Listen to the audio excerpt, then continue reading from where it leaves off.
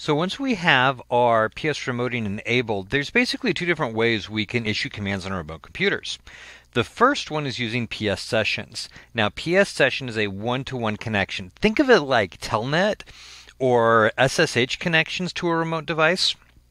I connect to that remote device and I have a terminal window and I enter commands on that remote device and they are processed on that remote device. They're executed on that remote device. And all I get back on my device is the results of it. It'll show me the results, but all my commands are actually being entered and processed on the remote device. Another example, if you're not used to Telnet, is something like uh, GoToMyPC or remote desktop connection or something like that. I'm connecting to a remote device and everything I'm doing is on that remote device and I'm still using the mouse and the screen on mine, but all the processing and everything I'm doing happens on that remote device.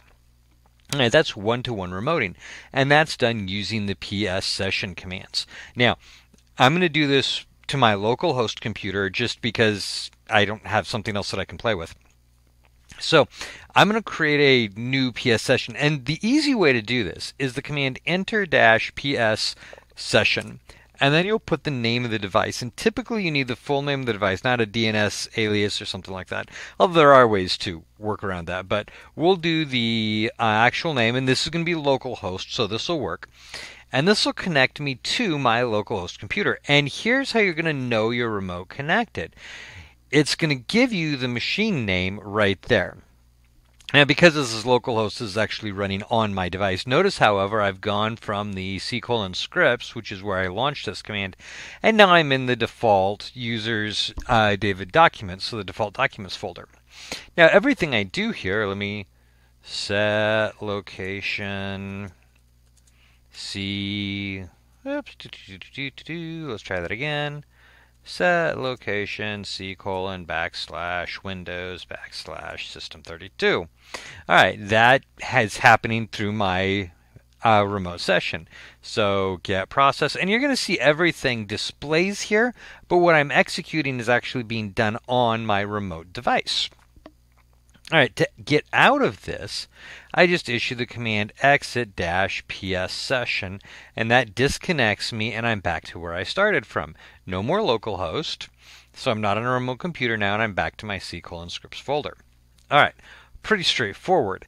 Now, that's the easy way to do it. Enter and exit PS session. When you enter it, it will create a session. When you exit it, it takes you out of that session.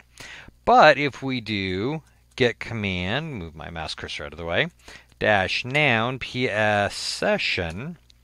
you can see that we have a bunch of other options here. Receive, remove, new, import, export, exit, enter, connect, disconnect. Okay, let's talk about what these do. So my enter and exit will create a session for me and take me into it. Enter does and then exit gets me out of it and disconnects the session.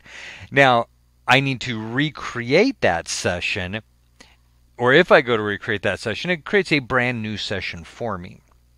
Now, if I want my sessions to be a little bit more permanent, this is where some of these other commands come in. So I'm going to do a new PS session. Actually, before I do that, let me do this real quick. I'm going to do get PS session. And you're going to see that I have no PowerShell sessions active right now. So I'm going to do new PS session localhost.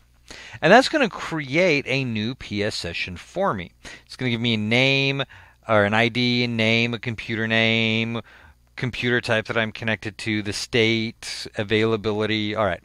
So now I'm I've got the session open, but I'm not actually in the session. You see, I'm still here uh, on my local machine. So get PS session will actually give me the information I just had. When you create a new one, it basically runs a get. So if I want to access this, I can access it by ID number. So I'm going to do enter PS session, oops, ID 8. And that takes me back to my default location. Remember when we did the uh, enter PS session before, it took us to that default location. I changed locations, but when I closed it, it disconnected me. And now I'm reconnected back to my session, but it's a brand new session. So let's do this. I'm going to set location HKLM colon. That's just going to take me to my registry. And that's just to show us where we're at. So now if I exit PS session, Now, because I created it using the new PS session command, now I still have it there. It's opened, and I can go back into it whenever I want, and instead of creating a new one, it'll take me to my one that already exists. Enter PS session 8, and you're going to see I'm still in the HKLM. So it's still keep giving me that same session. Now I'm holding an open connection there. If I want to temporarily disconnect it, I can do disconnect dash, move mouse out of the way, PS session 8, and that will disconnect for, for me. You see now my ID 8 current state disconnected. So at this point, I still have that session defined, I'm just not actively connected to the remote machine. If I want to reconnect it, I can do connect PS session 8. And now we'll see that our state is back open, so I've reestablished a connection to that remote machine. Again, I'm still not in it. So, enter PS session takes me back in. Whoops. Control C. Enter PS session 8 because I'm not trying to trying to create a new one. So I've closed and then reopened or disconnected and then reconnected, and it still has me at my same location. So same session still. All right, exit PS session is going to take me out. Get PS session will display it for me. I'm going to close PS session 8